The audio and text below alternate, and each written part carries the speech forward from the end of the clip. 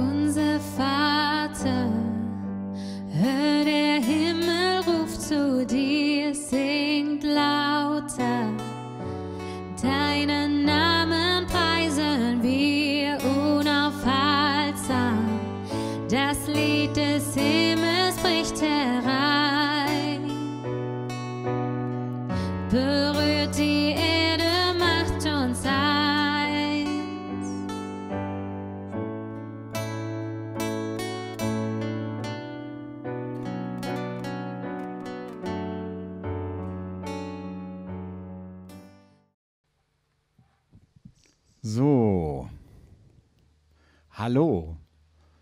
Herzlich willkommen zu diesem Gottesdienst, den wir hier feiern. Schön, dass ihr da seid. Einen guten Morgen allen denen, die im Internet mit uns feiern. Einen guten Abend, die hier aktuell vor Ort sind. Schön, dass wir miteinander Gottesdienst feiern können und schön, dass wir das tun können hier im Rahmen unserer besonderen Woche, wie die Urgemeinde heißt es. Ich weiß nicht, ob die Urgemeinde so gelebt hat, wie wir, wie wir jetzt hier und heute leben, aber es ist eine besondere Erfahrung und da entsteht auch dieser Gottesdienst und wir feiern diesen Gottesdienst im Namen Gottes, des Vaters und des Sohnes und des Heiligen Geistes. Und wir wollen miteinander zuerst mal singen miteinander und zwar 10.000 Gründe, komm und lobe den Herrn. Mit einem Loblied wollen wir den Auftakt starten.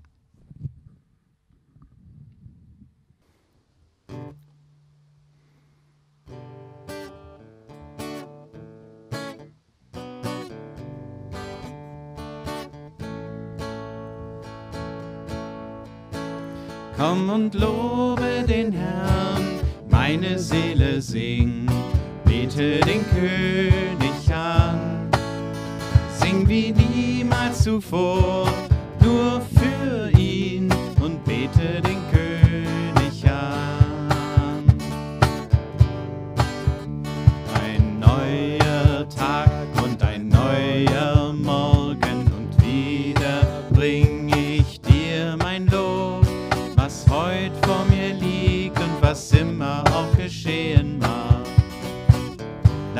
Noch singen, wenn der Abend kommt. Komm und lobe den Herrn, meine Seele sing, bete den König an. Sing wie niemals zuvor,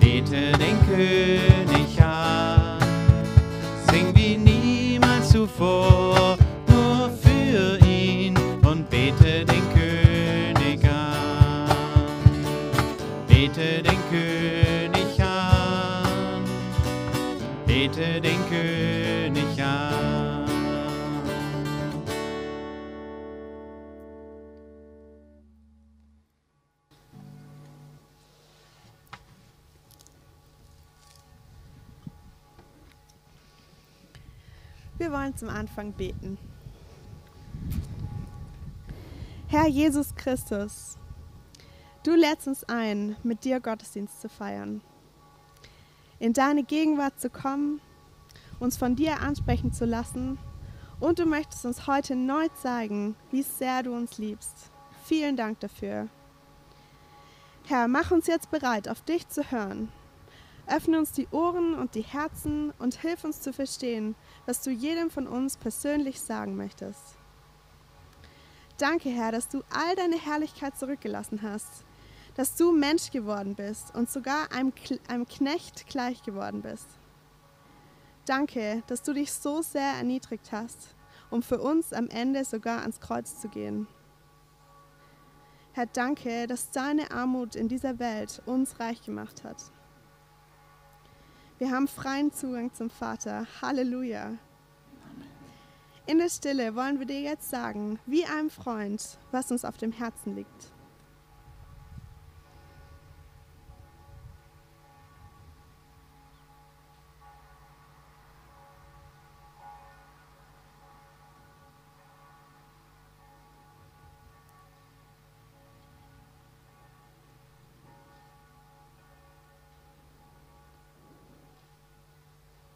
Dir sei alle Ehre, Jesus. Amen. O preis den Namen. Ich denk zurück an Golgatha. Lasst uns das miteinander singen.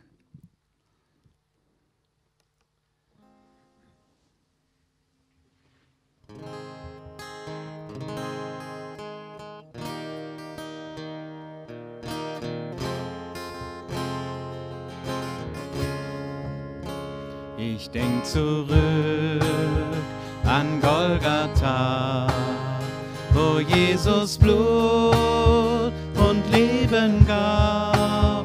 Seh seine Wunden durch die Hand, mein Retter dort am Kreuze starb.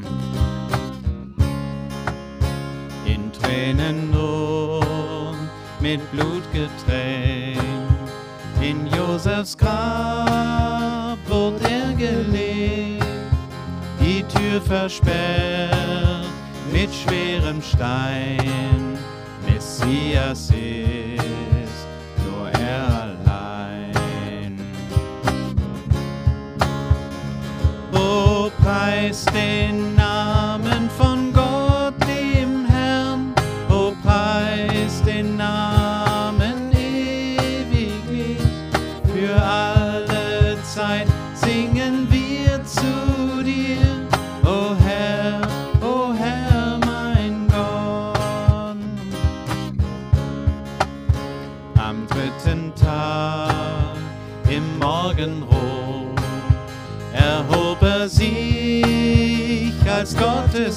Sohn.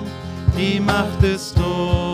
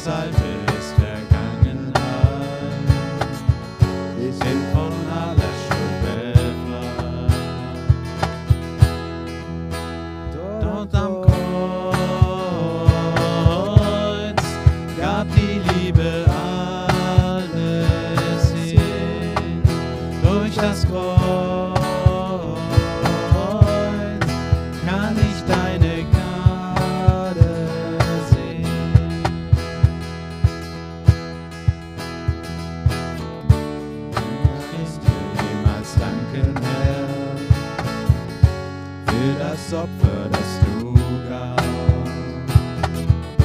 Meine Liebe hast du offenbart, als du für meine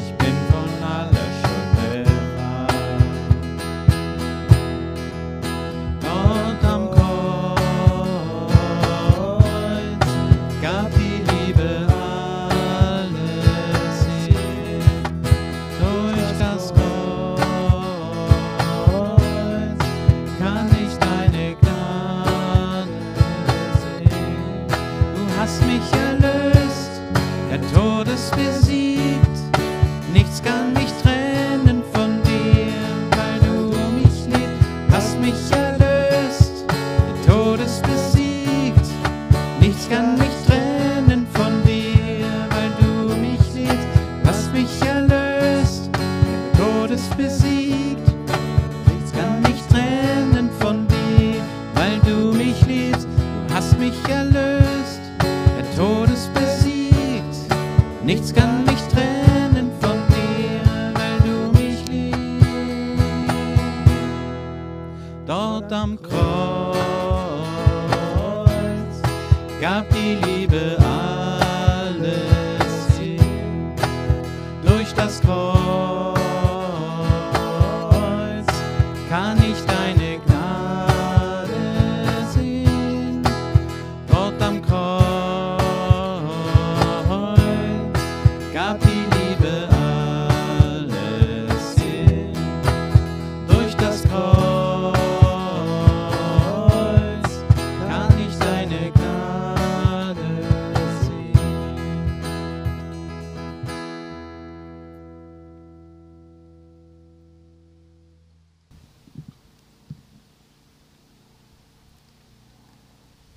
haben uns heute ähm, ja hier getroffen und sind schon den ganzen Tag da. Und wir haben auch überlegt, ähm, wie machen das, wir das eigentlich mit der Predigt? Und es wird in diesen Tagen und in dieser Predigtreihe verschiedene Stile auch von Predigt geben. Heute ist vielleicht eher eine klassische Predigt ähm, und morgen und übermorgen wird es aber ein bisschen anders, wo auch mehr Leute involviert sind. Das Thema von dieser ganzen Woche ist das Wort Gottes. Und heute speziell geht es um die Frage, wie das Wort Gottes Mensch in dieser Welt, in der wir leben, wurde. Und man kann ja erstmal fragen, was ist das Wort Gottes überhaupt? Und wir haben das heute Morgen auch überlegt und wir sind auf verschiedene Dinge gekommen. Was darf eigentlich Wort Gottes genannt werden? Uns ist eingefallen, wenn Gott am Anfang sagt, es werde Licht und dann wird's Licht, das ist irgendwie ein Wort Gottes. Oder wenn die Propheten im Alten Testament sagen, so spricht der Herr, auch das sind Worte Gottes. Oder manchmal gibt es auch diese Träume und Visionen und auch da kommen Worte Gottes vor. Und dann Jesus Christus, er ist das Wort Gottes, das Mensch wird. Dann die Verkündigung der Apostel, also wenn Petrus ähm, irgendwie aufsteht und anfängt zu predigen, auch da passiert irgendwie Wort Gottes. Oder dann auch das schriftliche Wort, die Bibel, auch das ist irgendwie Wort Gottes. Oder die mündliche Überlieferung, bevor die Texte aufgeschrieben wurden, wurden, auch das ist Wort Gottes. Und wir haben bemerkt, Wort Gottes ist irgendwie was ganz Vielfältiges. Also es gibt ganz viel, was irgendwie mit Wort Gottes zu tun hat und was auch Wort Gottes ist. Die spannende Frage, glaube ich, hinter diesem Thema Wort Gottes ist, wie teilt Gott sich eigentlich uns mit? Also wie redet Gott zu uns? Und dann auch die Frage, wie können wir Gottes Handeln in dieser Welt erkennen? Also wo sehen wir, dass Gott was tut und wo sehen wir es manchmal vielleicht auch nicht? Und ich glaube, dass wenn wir uns mit diesem Wort Gottes tiefer auseinandersetzen, also mit diesem Thema, dann wird es uns helfen, besser zu verstehen, wie Gottes Wesen ist, was er uns sagen will und wie er in dieser Welt handelt. Und ich glaube, wenn Gott spricht, dann geht es im letzten immer darum, dass Gott uns, uns Menschen, in eine gute Beziehung mit ihm führt. Und eine gesunde Beziehung zwischen Gott und Mensch sieht, glaube ich, im Endeffekt so aus, dass Gott geehrt wird und es uns Menschen besser geht, als es uns jemals irgendwo anders gehen könnte. Es windet ein bisschen. Und die Themenreihe diese Woche zum Wort Gottes, die hat ähm, fünf Punkte. Und was wir uns heute angucken, ist das erste, wie das Wort Mensch wird. Das zweite ist dann die Worte von diesem Wort Gottes. Also Gott wird Mensch, Jesus kommt auf die Erde und dann redet Jesus ja, er lehrt, er gibt Worte weiter. Darum geht es dann morgen. Oder, wenn ihr jetzt online guckt, in der Woche. Ähm, das dritte ist, wie der Heilige Geist diese Worte von Jesus in uns bewahrt und zur Geltung bringt. Und dann beim vierten Mal geht es um die Frage, wie diese Jünger von Jesus, also quasi seine Azubis, wie die eigentlich von ihm erzählen. Weil mit denen ist er ja super lang unterwegs und dann ist ja spannend mal zu gucken, wie reden die eigentlich über das Wort Gottes, also wie reden die über Jesus. Und das fünfte ist dann die Bibel. Das, was da alles geredet wird, das, was da passiert, hat seinen Weg in die Bibel gefunden und auch die Bibel ist das Wort Gottes. Und dann geht es um die Frage, wie können wir die Bibel als Wort Gottes lesen. Und wir fangen heute an mit dem Text in Johannes 1, ähm, Vers 1 bis 18. Und wenn ihr eine Bibel gerade zur Hand habt, dann dürft ihr die auch gerne aufschlagen. Ich lese mal Johannes 1, 1 bis 5 vor. Da geht es darum, dass Gott die Welt schafft durch sein Wort. Im Anfang war das Wort und das Wort war bei Gott und das Wort war Gott. Dieses war im Anfang bei Gott. Alles wurde durch dasselbe und ohne dasselbe wurde auch nicht eines, das geworden ist. In ihm war Leben, und das Leben war das Licht der Menschen. Und das Licht scheint in der Finsternis, und die Finsternis hat es nicht erfasst. Wenn man das liest, dann denkt man, glaube ich, direkt gleich mal an die Erschaffung der Welt, an den Anfang der Bibel auch, wo Gott die Welt schafft. Und dort sagt er zum Beispiel, es werde Licht und dann wird es Licht. Aber ich glaube, wenn hier im Johannesevangelium die Rede ist, dass alles durch das Wort geschaffen wird, dann meint es nicht nur, dass Gott sagt, es werde Licht und dann entsteht Licht, sondern es geht um dieses Wort, das auch eine Person ist. Und wenn wir diesen ganzen Text lesen, dann merken wir das, dass dieses Wort auch eigenständig handelt. Und im Griechischen meint Wort hier Logos, also eine eigenständige Größe. Und dieses Wort, dieser Logos, gehört zu der Kategorie Gott. Also er gehört nicht zu der Kategorie Mensch, sondern zu der Kategorie Gott. Das Wort war Gott. Gott war das Wort. Und jetzt, das hatten wir heute Morgen auch, und das möchte ich einfach kurz als Hintergrund erklären. Ähm, es gab zu der Zeit vom Neuen Testament ähm, solche Vorstellungen, ähm, die zum Mittelplatonismus gehören. Das muss man nicht unbedingt wissen, was das heißt. Aber diese Leute haben sich gefragt, wie kann Gott, wenn er Geist ist, also wenn er nicht materiell ist, sondern Geist, irgendwie transzendent, wie kann so ein Gott die Welt überhaupt schaffen? Denn die Welt ist ja irgendwie Materie und Geist und Materie, davon sind die ausgegangen, das passt irgendwie nicht zusammen. Und die Vorstellung war dann, dass Gott Ideen hat, also dass Gott sich was denkt. Und dann werden die Dinge, die wir jetzt hier sehen, sind dann quasi Abbilder von diesen Ideen, die Gott hat, und die werden durch den Logos verwirklicht, erschaffen. Und da war der Logos eben so, so eine Mittler, also der hatte eine Mittlerfunktion, um Dinge zu schaffen, weil Gott Geist ist und das selber gar nicht gemacht hätte. Also die Frage wird so beantwortet, dass Gott durch diesen Logos Dinge schafft. Er ist Geist und so kann er in die Materie eingreifen. Der Logos ist also ein Vermittler. Das ist ein Hintergrund für diesen Text. Aber, und das wäre jetzt für diese Philosophen, die so gedacht haben, eher ungewöhnlich, hier geht es jetzt darum, dass dieser Logos Mensch wird, also Fleisch wird, also dass er genau in diese Materie eben ganz einsteigt. Und damit geht es jetzt weiter, und da lese ich jetzt ähm, die Verse 6 bis 9 vor. Da war ein Mensch, von Gott gesandt, sein Name Johannes. Dieser kam zum Zeugnis, dass er zeugte von dem Licht, damit alle durch ihn glaubten. Er war nicht das Licht, sondern er kam, dass er zeugte von dem Licht. Das war das wahrhaftige Licht, das in die Welt kommend jeden Menschen erleuchtet.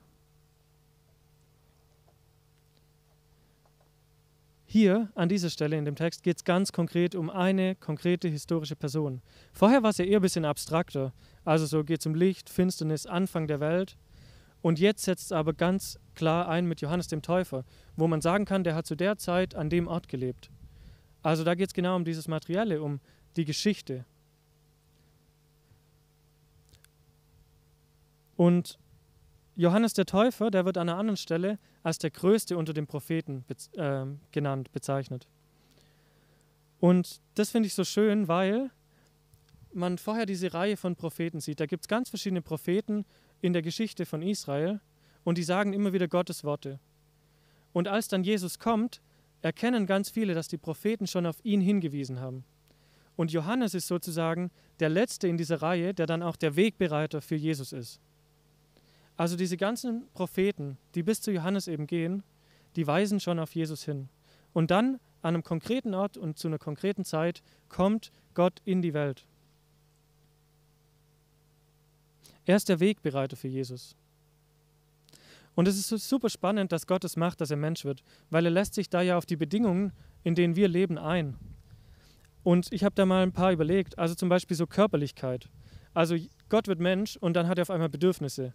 Also er muss zum Beispiel aufs Klo, er hat Durst, er schwitzt manchmal, er hat manchmal mehr Kraft und manchmal weniger. Und er ist auch zum Beispiel örtlich begrenzt. Also wenn man halt so wie wir als Mensch lebt, dann kann man halt nicht äh, in diesem Moment hier sein und gleichzeitig an einer anderen Stelle. Ähm, sondern man ist auf einen Ort irgendwie begrenzt und man ist auch verletzbar. Also es gibt Menschen, die schlagen anderen Menschen irgendwie die Köpfe ein und dann passiert da was. Vorher konnte man Gott nichts anhaben, aber jetzt, wenn er Mensch wird, dann ist er auch verletzlich. Oder denk mal an Sprache. Wenn Gott Mensch wird, dann lässt er sich auf Sprache ein. Jesus kommt und erzählt irgendwelche Sachen und dann ist voll möglich, dass man ihn falsch versteht. Also er sagt vielleicht A und die Leute sagen, er hat B gesagt. Oder man kann ihm vielleicht sogar nachsagen, dass er was ganz anderes gesagt hat. Also man kann ihn absichtlich auch falsch verstehen. Oder denk mal an die Zeit. Also Gott lässt sich auf Zeit ein. Da gibt es auf einmal Momente, die verstreichen, dann sind sie weg. Oder die Zeit begrenzt uns ja auch. Also wie viele Aufgaben könnten wir erledigen am Tag, wenn es keine Zeit gäbe? Also dann hätten wir da eigentlich erstmal kein Limit, wenn man so denkt. Und auch darauf lässt Gott sich ein. Und dann, das fand ich auch noch spannend, ähm, auch wenn man Mensch ist, dann gibt es ja so verschiedene Altersstufen. Und normalerweise ist es ja so, dass jüngere Menschen auch sich den Älteren unterordnen. Und das ist eigentlich spannend, dass Jesus, also Gott kommt in die Welt als Jesus und Jesus ist dann da und dann ordnet er sich ja zum Beispiel seinen Eltern unter. Also Gott folgt auf einmal zum Beispiel Maria und Josef in dem Fall. Ähm, also auf all das lässt er sich ein. Und dann noch das Gesetz. Es wurde ein Gesetz gegeben von Gott und Gottes Gesetz ist ein gutes Gesetz und es überführt aber halt auch ähm, von Sünde. Und Paulus sagt mal, dass das Gesetz auch dazu führt, weil es was verbietet, dass es irgendwie so eine Begierde auslöst. Und in diese Welt, wo dieses Gesetz herrscht, geht Jesus jetzt rein. Paulus sagt, er ist unter das Gesetz gekommen. Also all das sind Sachen, auf die lässt Gott sich hier ein und wird Mensch. Und wir lesen jetzt weiter, Johannes 1, Vers 10 bis 13. Er war in der Welt und die Welt wurde durch ihn und die Welt erkannte ihn nicht. Er kam in das Seine und die Seine nahmen ihn nicht an. So viele ihn aber aufnahmen, denen gab er das Recht, Kinder Gottes zu werden, denen, die an seinen Namen glauben, die nicht aus Geblüt, auch nicht aus dem Willen des Fleisches, auch nicht aus dem Willen des Mannes, sondern aus Gott geboren sind. Ist es nicht spannend, dass Gott sich auf all das einlässt, dass er jetzt in die Welt kommt und dann kommt diese Reaktion? Also Gott kommt in die Welt und dann wird er erstmal auch abgelehnt. Es ist nicht einfach so, dass ihn alle irgendwie ähm, mit großer Freude empfangen, sondern da gibt es auch eine Ablehnung. Da gibt es einerseits eine Ablehnung und andererseits gibt es eine Adoption. Jesus kommt in sein Eigenheim und ich kann mir das noch nicht so richtig vorstellen, aber man kann es ja mal probieren. Also wenn man heimkommt und man zum Beispiel Kinder hat und man kommt in sein eigenes Heim und war eine Weile nicht da und dann kennen einen die Kinder zum Beispiel nicht mehr. Wie wäre das? Oder wie ist es für Jesus, wenn er in die Welt kommt, die durch ihn geschaffen wurde, durch ihn als das Wort, und jetzt nehmen ihn die Seinen nicht auf. Also er kommt in das, was ihm gehört, was durch ihn geschaffen wurde, und die Seinen nehmen ihn nicht auf. Er kommt in die, extra in diese Erscheinungsform von einem Menschen und jetzt wird ihm nicht mehr geglaubt, dass er Gott ist.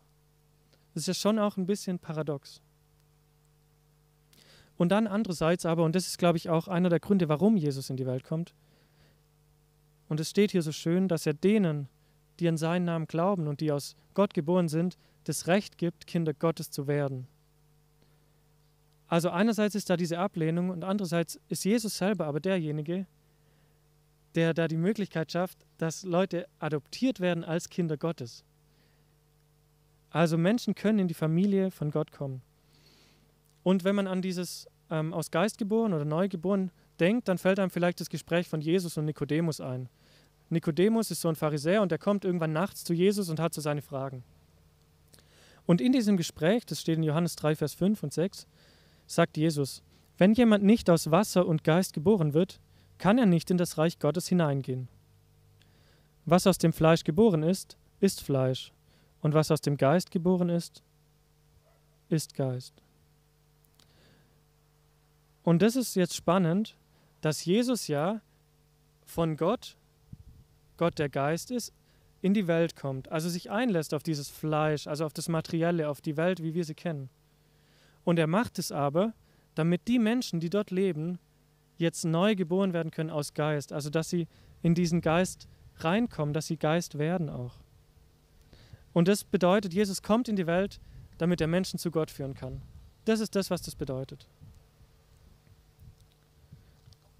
Wir lesen weiter, Verse 14 bis 18.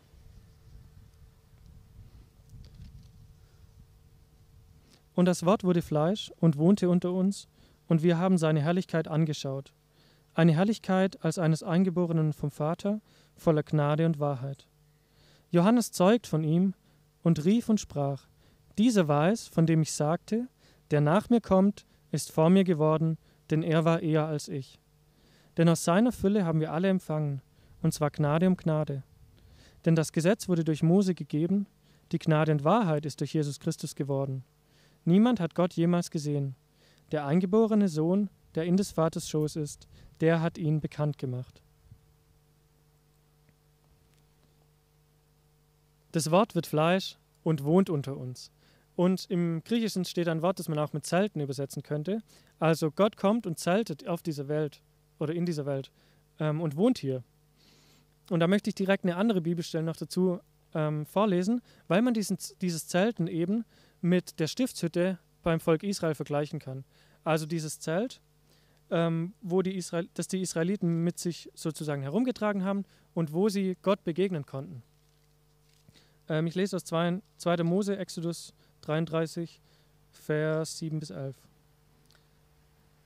Mose nun nahm jeweils das Zelt und schlug es sich außerhalb des Lagers auf fern vom Lager für sich, und nannte es Zelt der Begegnung. Und es geschah, jeder, der den Herrn suchte, ging zum Zelt der Begegnung außerhalb des Lagers hinaus. Es geschah auch, so oft Mose zum Zelt hinausging, dann standen alle Leute auf, und sie traten jeder an den Eingang seines Zeltes und sahen Mose nach, bis er in das Zelt hineinkam. Und es geschah jedes Mal, wenn Mose in das Zelt kam, dann stieg die Wolkensäule herab und blieb am Eingang des Zeltes stehen. Und der Herr redete mit Mose.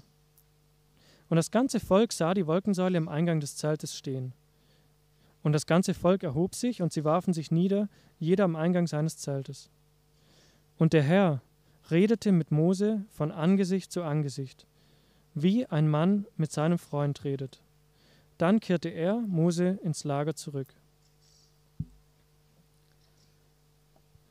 Ich finde, wenn man dieses Bild als Hintergrund hat für, dieses, für diese Textstelle, finde ich das richtig schön weil hier Mose und auch die Israeliten zu diesem Zelt gehen, um Gott zu begegnen. Und dann steht da, dass Mose dort mit Gott redet wie ein Freund. Also wie zwei Freunde reden sie dort miteinander.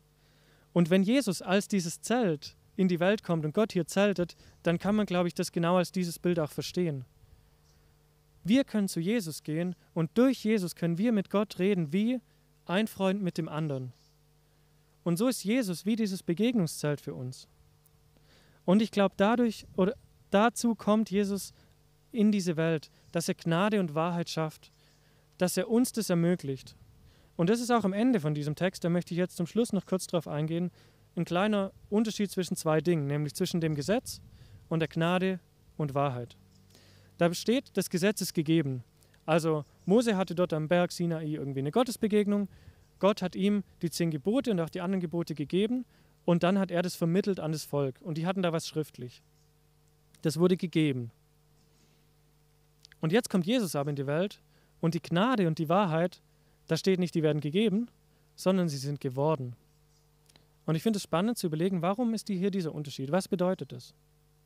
Ich glaube, dass es bedeutet, dass Jesus diese Wahrheit schafft, dass er sie bewirkt und dass er genauso die Gnade bewirkt. Welche Wahrheit bewirkt er?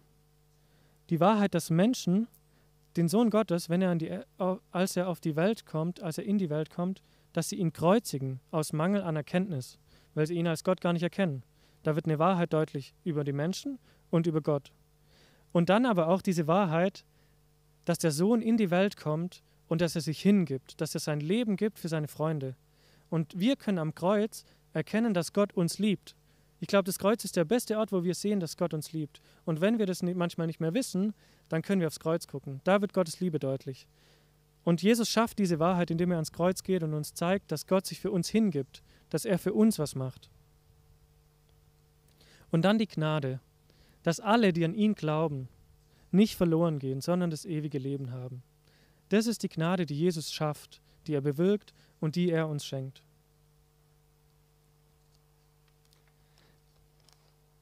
Was können wir also mitnehmen von diesem ersten Teil von dieser Themenreihe zum Wort Gottes? Dass durch dieses Wort Gottes alles geschaffen wurde. Und dann dieses Wort Gottes Fleisch wird. Und dass Gott sich auf die Bedingungen unserer Geschichte einlässt, mit allem, was dazugehört und dass er zu einer konkreten Zeit und an einem konkreten Ort Mensch wird, dass er sich auf eine bestimmte Kultur, eine Sprache, auf ein bestimmtes Denken einlässt. Und das ist die gleiche Geschichte, in der wir leben. Also wenn wir vielleicht manchmal den Eindruck haben, Gott ist irgendwie fern von uns, dann stimmt es, finde ich, nicht ganz, weil er genau in der Geschichte, in der wir leben, auch schon da war und auch immer noch da ist, aber das ist dann für die nächsten ähm, Predigten. Und Gott wird dann eben Mensch, um diese Gnade und um diese Wahrheit zu schaffen. Und darin zeigt sich Gottes Liebe zu uns. Und manche Menschen, die nehmen dieses Wort Gottes an und manche tun das nicht. Und ich möchte euch einladen dazu, dass ihr Gott in eurem Leben auch so zelten lasst. Ähm, dass Gott in eurem Leben diesen Platz hat und dass ihr euch von ihm immer wieder zeigen lasst, welche Liebe er für euch hat und welche Hingabe er für euch hat. Amen. Wir singen das nächste Lied gemeinsam. Wasser wird Wein, Blinde sehen.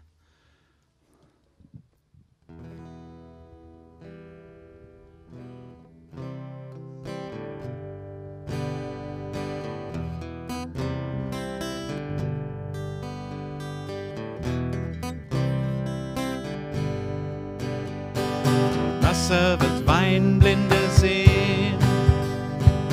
Brot wird vermehrt, Lahme gehen,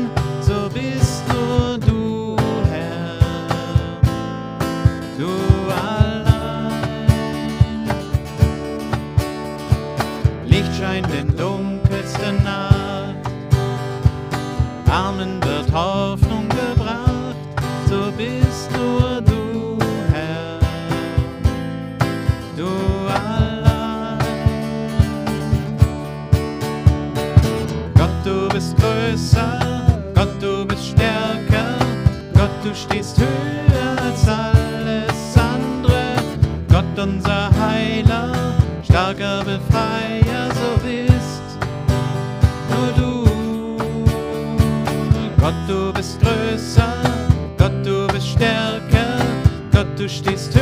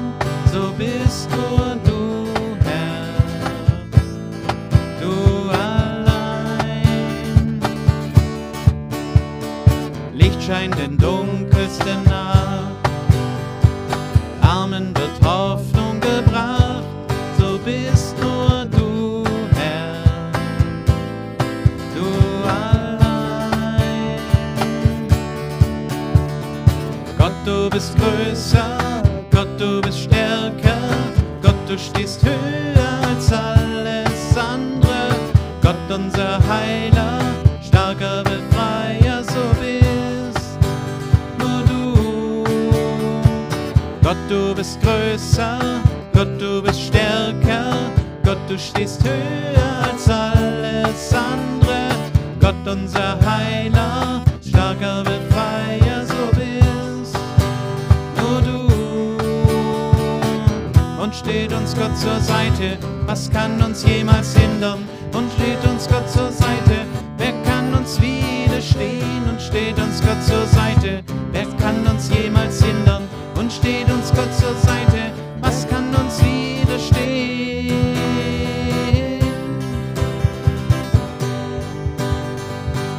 Wer kann uns widerstehen?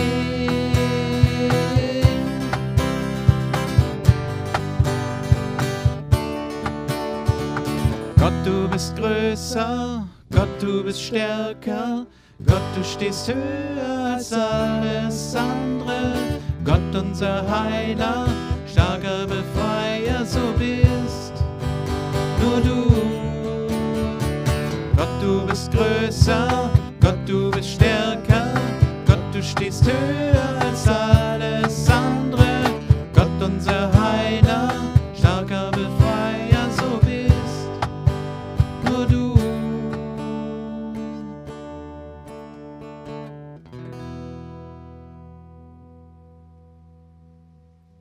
wollen zusammen Fürbitte halten. Herr, danke, dass wir mit all unseren Anliegen vor dich kommen können. Du hörst uns und willst das Beste für uns. Wir bitten für diese Welt, die an vielen Orten durcheinander gekommen ist. Herr, schenk allen Verantwortungsträgern Weisheit, um mit all den Herausforderungen gut umzugehen und Ressourcen gerecht zu verteilen. Herr, in dieser Zeit, in der viele Dinge weggebrochen sind und sich neu sortieren, hilf du uns, Prioritäten in deinem Sinne zu setzen. Zeig du uns, was wirklich wichtig ist und hilf uns, einen klaren Blick auf die Welt um uns und unsere Umstände zu haben. Zeig uns, wie du die Welt und all die Menschen um uns siehst. Herr, wir wünschen uns deinen Blick. Wir bitten auch für unsere Gemeinde. Herr, wir wollen deine Werkzeuge in dieser Welt sein. Schenk uns Liebe für diesen Ort, für unsere Familie, für unsere Freunde und unsere Feinde und lass du dein Licht durch uns leuchten. Wir wollen dunkle Orte durch dein Licht hell machen. Und Herr, du weißt auch um dunkle Orte in jedem einzelnen von uns. Komm du auch dort mit deinem Licht hin. Schenk du Trost, schenk du Heilung, neuen Mut, Vergebung, vielleicht einen Menschen zum Reden oder was es sonst gerade braucht. Herr, danke, dass du durch deinen Geist ganz nah kommst. Und gemeinsam wollen wir beten mit den Worten, die du uns gelehrt hast. Vater unser im Himmel, geheiligt werde dein Name, dein Reich komme, dein Wille geschehe, wie im Himmel, so auf Erden. Unser tägliches Brot gib uns heute und vergib uns unsere Schuld, wie auch wir vergeben unseren Schuldigern. Und führe uns nicht in Versuchung, sondern erlöse uns von dem Bösen. Denn dein ist das Reich und die Kraft und die Herrlichkeit in Ewigkeit. Amen. Als Info laden wir herzlich ein zu unseren weiteren Gottesdiensten. Jeden Sonntag auf unseren Kanälen, entweder hier, Erzingen-Schemberg oder auch in Endingen, laden wir herzlich ein zu unseren Online-Gottesdiensten und im Sommer auch an den Sonntagen im August und bis in den September hinein auch zu den Gottesdiensten, Präsenzgottesdiensten, also real und vor Ort von unserer Sommerpredigtreihe. Prospekte gibt es dazu im Pfarramt oder wo auch immer einfach Leute ansprechen. Das wären die Infos.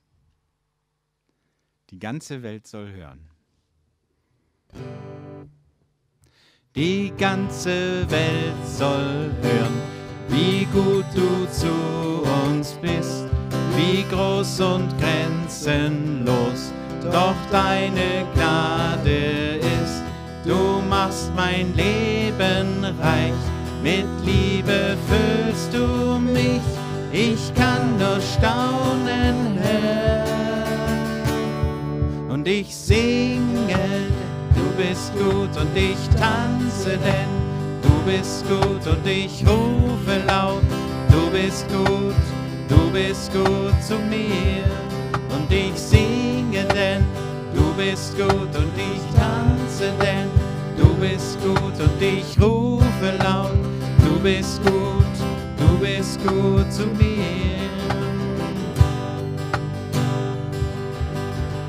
Nichts kommt dir jemals gleich, niemand ist so wie du.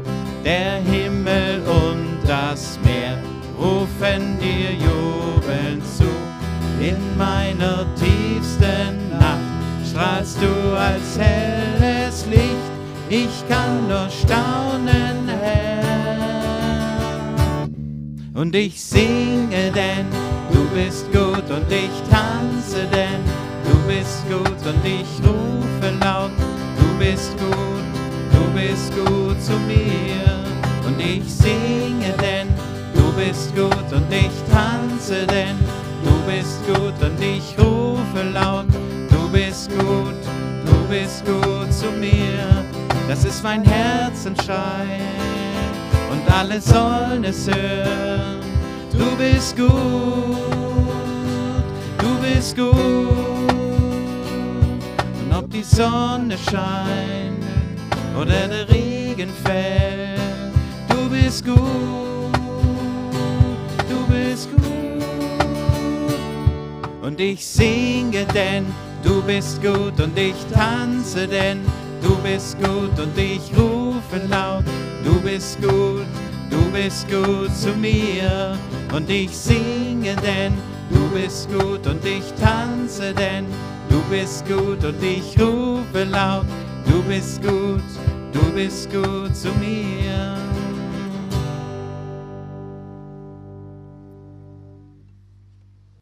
Ja, absolut hochspannend. Wir haben diesen Gottesdienst gelandet. Super. Ein schönes Erlebnis. Vielen Dank an alle, die beteiligt waren, alle, die besucht haben, mitgefeiert haben. Wunderbar. Und auch jetzt wollen wir ähm, in die neue Woche und in den Abend, in den Morgen, wo auch immer, wie auch immer, wollen wir gehen unter Gottes Segen. Lasst uns einfach Gottes Segen empfangen. Und der Herr segne uns und behüte uns. Der Herr lasse leuchten sein Angesicht über uns und sei uns gnädig. Der Herr erhebe sein Angesicht auf uns und schenke uns seinen Frieden. Amen. Schön, dass Sie mit uns gefeiert haben. Eine gute Zeit.